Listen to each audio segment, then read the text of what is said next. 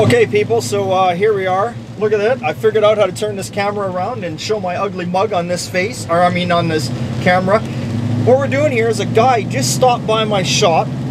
Um, he says he's got a 49 Ford two-door sedan um, that he wants to get it out of his yard and uh, he just wants rid of it.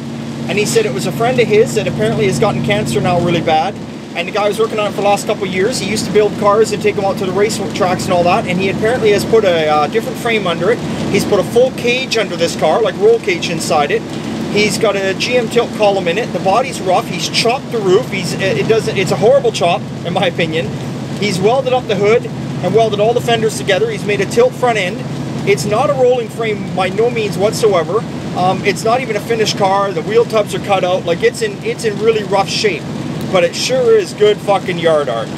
So I looked at it, and my buddy Davy Boy went with me, and uh, I kept saying to the guy, well, what do you want, what do you want? And the guy was like, throw me a number, throw me a number, and what does Dave do? Dave says 50 bucks, and the guy says, done, it's yours. So, we are on the road right now, we're gonna go pick this car up, and uh, here we'll give you a visual of what's going on. We'll turn this around, here we go. There, there we are, so you can can see our beautiful roads out here in Chilliwack, BC for all you guys that, yes, it's pissing down rain. Of course, you know, the guy would show up on a day when it's pissing down rain. Now, I could probably leave it and go get it another day, but with my luck, the bloody guy would probably, uh, would end up getting, getting rid of it to somebody else and I wouldn't get it. So the whole plan for this car is I think it's going to be yard art. I know I said it's got the whole cage in there and all that, but the car needs a lot of work and it's, it's more yard art for me than it is everything. So we're to film up until we get to the car here. Then what we're to do from there is we're to stop and I'll film when we get back home undercover because I don't want to take this fancy new camera out in the rain. That's the last thing I want to do.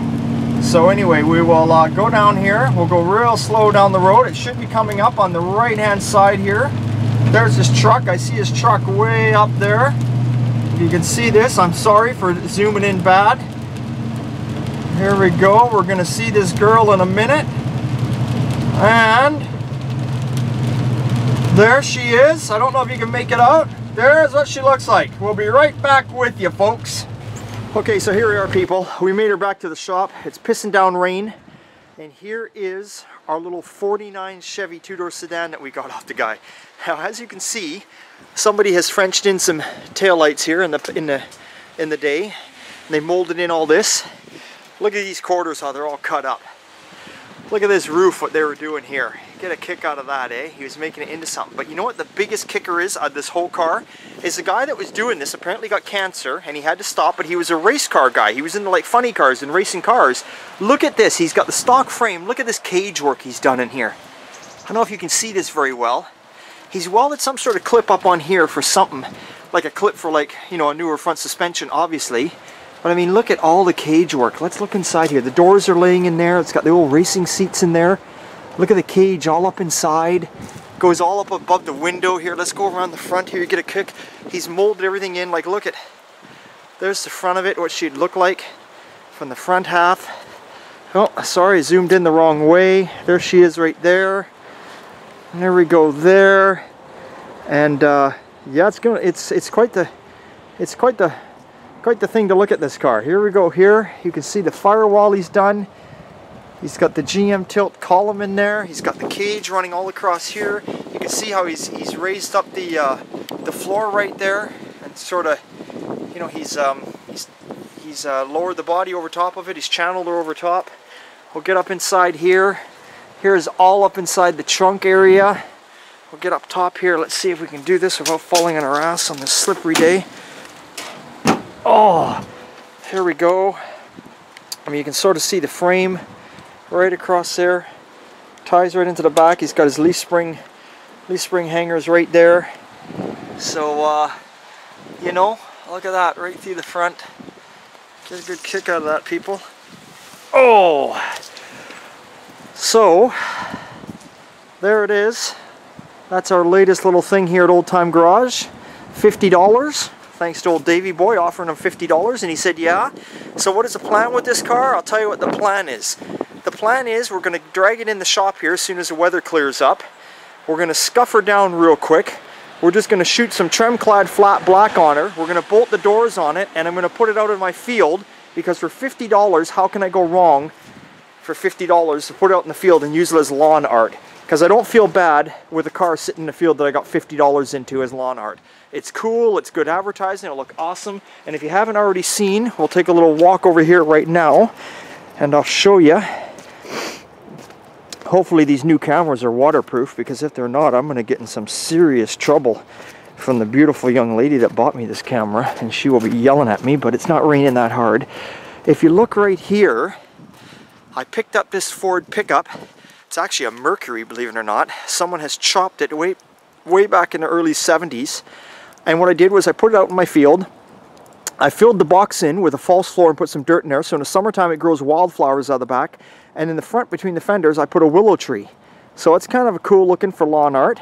And if you look way down the other end of my field, there is my little 39 Chevy two-door sedan. It's not on a frame, it's just a body, and that is my other lawn art. So um, yeah, we got quite a big open field up here. It's a good half acre and the plan is, is that Old Time Garage is going to be hosting a automotive swap meet and a car show once a year out here in Chilliwack. But the automotive swap meet will be open for everything, everyone I should say, but the um, the uh, car show is just going to be special invite people like my customers and stuff like that. So anyway, I better get out of this rain. I better get inside and get some work done. Um, I'm glad I can. I'm glad I had this camera.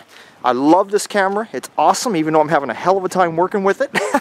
I'm loving it, and uh, that's it. Because if I never had this camera, you guys would have never seen this car, you know, going to pick it up and all that kind of cool shit. So there you go, and uh, that's it. Stay tuned. Okay, so we're back here. Here's our $50 piece of lawn art. You can see Davy Boy there. He's spraying it. We're spraying right over the rust. We're not sanding it. There's no point. It's going in the yard. And spraying over the bird shit too. There we go. Yeah, bird shit. Yeah. Yeah, that was a seagull, I think, took a good one there. Yeah. Paint seems to stick to that pretty good. So what we're using here is we're using uh, Tremclad Satin Black. And uh, there we go. Look at Dave go. I mean, holy, let's see, let's see Winfield paint like that. That's top of the line. You think you can get some scallops in there and some fading? Yeah. Yeah, okay. We like fade, we like fadeaway paint jobs here.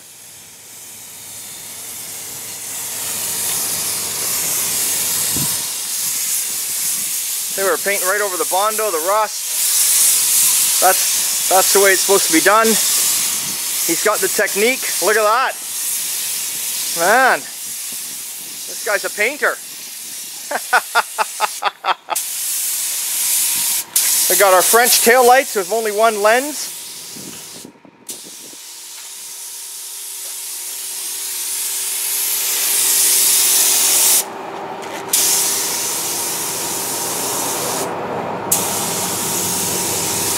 Looking good, looking good. We got all the shit out of the way. We got we got Gene's little 41 Ford over here sitting here on the cart. We moved it aside so we wouldn't get any overspray on it.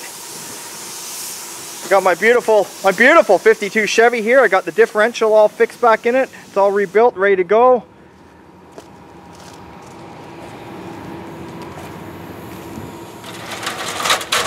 Oh, oh Dave needs a ladder now. He's got to climb up there. See? I'll let Dave paint it because I won't. I won't go up more than two steps on the ladder because I'm afraid of heights. I don't like heights, Dave. Okay. Yeah.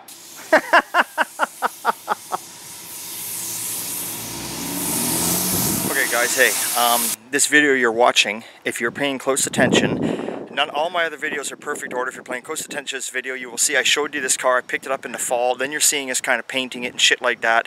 Uh, that's that's in the early spring. And now I've got it out in the yard here. And here we are. We are in June. We're like the third week of June. It's summertime here. And I just wanted you to see the end result of it sitting out in the field as my lawn art. So here we go. Okay, I want you guys to know that some videos, well, this is the only video that's been patched over several times. And hopefully we did a good job. But here we go. Check this out. Good lawn art or what? Okay guys, so there it is. There's a little Chevy. And as you can see what I've done is I've propped the door open. We're leaving the door open and we've got my logo on there so when people drive by, there it is. They can see the logo, they can see the number. That was done by my lovely gal. Doesn't she does she does beautiful work, don't she? You ever come down here in BC and you need sign lettering work or pinstriping, I'm telling you, look me up because she does it. Anyway, there we are. I shoved some wheels underneath it, some old tires I had laying around the house there. You can take a quick glimpse of that. I shoved some uh, I shoved some old chromies that were on there, just laying around, letting the grass grow up around it all. So it's all looking good. So there we go. We've got another piece of lawn art sitting out here. Uh, as you can see, the grass is already growing around it. So you can see this video has been patched over. I have no reason to hide stuff from you. We Obviously the car was parked here way back in the day. We're assuming when people drive by because there's a jerry can, it ran out of gas. And unfortunately the poor bastard went to pour gas in it and he realized there was no gas tank either. anyway, there we go. So what else we got going on here? Well, this is my field here. And this is just over a half an acre. And this is where I host, or will be hosting, my Old Time Garage once a year annual parties. Now back in this corner, we'll take a quick look. This is an old 48, it was a Merc, but someone's put Ford parts on it. 48 Mercury pickup that somebody tried to chop way back in the day. And they did it with an old, um, did it with an old arc welder. So it's quite a mess. But what I did was I pieced it together out here and I put a uh, I put a weeping willow tree in there, or spiral willow tree I should say, inside the front there. In the back I filled the box up halfway with dirt and I planted a whole bunch of wildflowers so I don't have to look after the bloody things. They just come up every year. All I got to do is at the end of the year I just get in there with the weed whacker. I mow down all the dead shit and uh, that's it. So that's what's going on there. So you take a close look at that. We can see the uh, we can see the chop you know, it was it was done back in the day. We'll look inside it. The old dashboard. You know, obviously we'll walk around here. We'll get a close-up view of the front. There we are. And what I've been doing lately too, guys, is, you know, I have a lot of parts. And, you know, just like you guys are into cars, you hang on to all this stuff, you hang on to it and hang on to it. And I don't know about you, but I'm a hoarder. I sell absolutely nothing. So if anyone's out there watching these videos that's a local guy and you're seeing all my stuff, don't ask me if stuff's for sale because I don't sell it because I like to build custom cars. And you never know when you're going to need it. But sometimes there's stuff, see, as you can see in here, like look at the parts laying in here. Sometimes there's stuff that, here as we take a walk down the field, I'll talk to you. Sometimes there's stuff that you don't know if you should get rid of it or not. Like, you know, um, old coil springs. You know they're still good, but you put lowered ones in. And you keep all this shit in case you're going to build a rat rod, if you're into rat rods, out there one day. And I've been thinking, God, all this stuff's piling up in my sheds, piling up in my sheds. What do I do with it? It's stuff that I think about throwing out, but I don't think I want to throw it out. So what do I do with it? I've been throwing it in these old cars lately. I've been throwing it in there because they're good storage. I label the shit, I put it in the cars, it's out of sight, it's out of mind, it's perfect. So there you go. There's an idea for you guys out there if you got any lawn art like that. Now you do risk the chance of maybe someone stealing out of these cars, but you know what? In the car world, if someone wants to go that far and steal stuff from us, that's, that's pretty shameful in my opinion. So here's our last lawn art. Here we go. This is a 37 Chevy two-door sedan. I picked this thing up a while back. And again, it's not on a frame, it's just mocked up. This car is actually in really good shape. It's, it's uh, it's a shame a guy like me would keep a car like this out here, but you know what? It was the right price, and uh, it's, it's a good resting area for it. Good resting area. So, get a glimpse. I don't know if you can see inside there through the glass. The door does open. Let's open it. Watch me get full of bees. Any rodents in here gonna get us? Look at that, hey guys? She opened right up. You know, and again, and again, you know, I've got junk stashed in this car. Just stuff I'm uncertain whether I'm going to use. Let's close it up. Watch this door here. Look at that. You'd almost think Dr. Dave was working on that door. Anyway, you can see the old, uh, here's the old back end here, your old bustle back or whatever you want to call it, or uh, favorite place for your gal. Someone took an axe to it. Maybe he was mad that night. Anyway, we'll go around here. You see it's got the old decals on here. Calgary, uh, McLeod, Spokane. Uh, apparently it came out of an old mill, this car. And uh, like I say, so I put her out here and uh, she's in the corner of my field and there she is. That's it. So, with that being said, there you go guys. You got to see the Chevy, you got to see what I did with it. It's good lawn art. I hope you guys enjoyed this video and uh, thank you guys for staying tuned. And remember, it's always a good time at old time. See you later.